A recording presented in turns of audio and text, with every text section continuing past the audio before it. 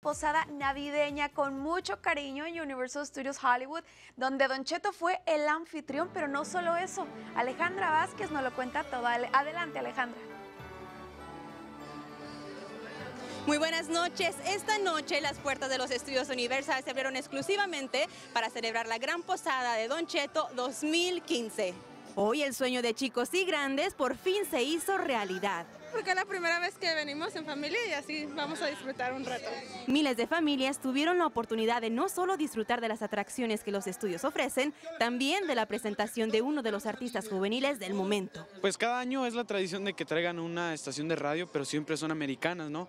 Y esta por primera vez, la primera estación mexicana. Entonces yo creo que es un gran orgullo para nosotros los mexicanos estar en los estudios universales celebrando una bonita fecha como la es la Navidad y por supuesto del protagonista de la noche, Don Cheto. Que hayan cerrado el parque para toda nuestra comunidad latina que nos escucha, que son pues que bueneros, como yo les digo, este e, es, fue un detalle muy bonito. Ambos dieron inicio a la ceremonia donde este arbolito de más de 60 pies de alto se vistió de colores.